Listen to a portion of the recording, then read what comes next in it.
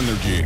Hit music only. Så, eh, ja, nu är vi tillbaka på terrassen igen. Eller hur Caroline? Ja, jag fattar fortfarande inte hur han gjorde förut men ja, ja, vi, vi ger en chans till Vi har alltså enkelt. fått besök av eh, magikern Julian Magic. Och du trodde ju inte på magi innan. Du, du, du, Nej, han håller du är lite på... rädd för magiker Ja, men också. lite som du håller på att övertyga mig. Absolut. Okej. Du fick en liten kram så blev det mycket bättre, eller? Så är det. Kramar är Plus alltid att bra. du trollade fram massa cash sist. Vad tog de vägen? Okej. Men ska vi göra något annat skoj? Eh, jag tänkte så här, det här är två stycken gummiband.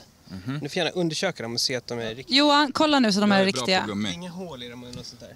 Så jag är helt... Nej, de Det här är- ser, det här de är ser väldigt bra Ja, ut. Okej. Inga konstigheter. Och så tar man de här. Kommer det också bli cash nu eller? Nu blir, nu blir det cash. Nej, men man sätter den här på sin, si- den här sidan. Så de sitter fast i varandra. Okej. Ja. Men sen när man gnuggar lite grann så här så har den en förmåga av att smälta igenom den andra. Alltså... Johan.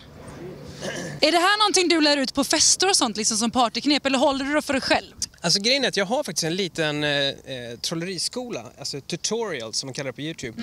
Som jag har varje söndag så kommer det ett nytt trick, små enkla trick man kan lära sig. Partytricks. Så det är bara att glida in på din Japp. YouTube-kanal Julian Magic, eller hur? Yeah. Så finns det hur mycket klipp som Johan, helst. vi kommer ju bli kungar i den här helgen. Kan man Ja, du ska använda det på krogen eller? Ja. Att lära dig det här tricket så gör jag det nu jättesakta så att ni verkligen ser hur jag Okej. gör.